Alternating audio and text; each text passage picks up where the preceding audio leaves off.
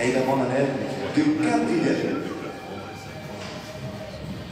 Il a sauvé le championnat avec Paula Amigakiu. Gazelle est aussi la grand-mère de Loubitel.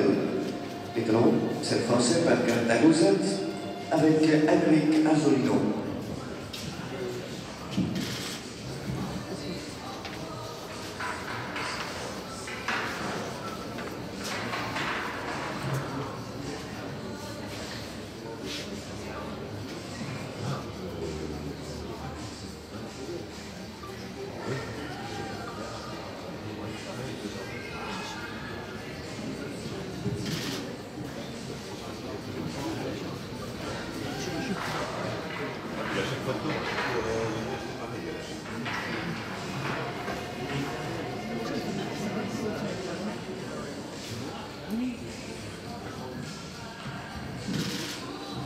Faire les